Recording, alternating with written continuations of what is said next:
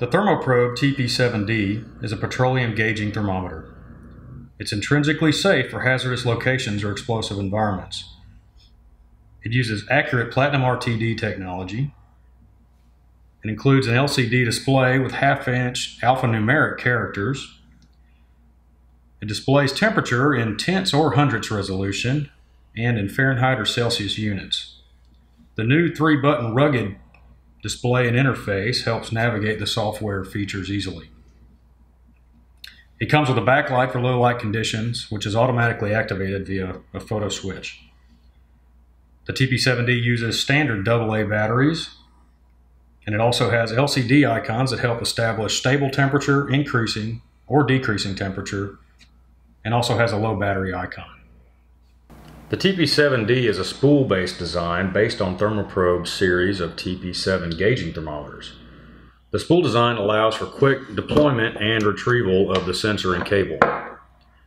The versatile handle design allows for various probe sizes to be stored in the handle with a removable insert.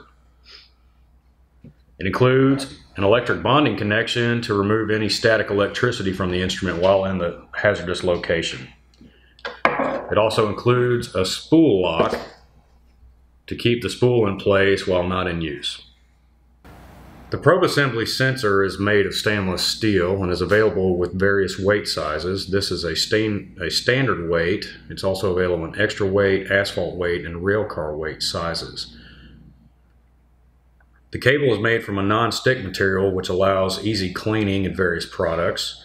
The cable is available in lengths up to 50 meters.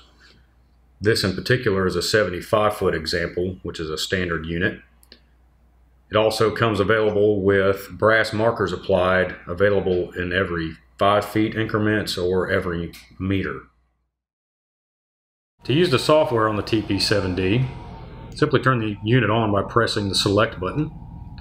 It will show its software version, the type of probe connected, and go immediately to reading temperature. To use the software features, use the up or down arrows. The first selection is log. If the user desires to log the current temperature, go to log and then press select and it will show a log reading of 1. You can do additional readings by going back to log and I can do a second log reading. Oh, it has to be stable though. So, oh, go to log, second log reading. Right.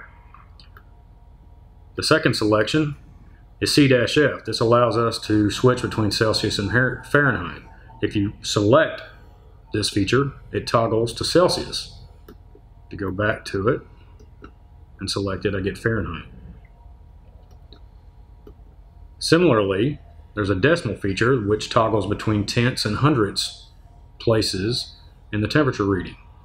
If I select decimal, I only have one decimal place.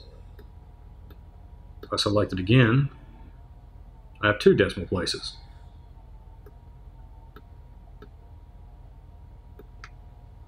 The fourth selection under the menu is memory.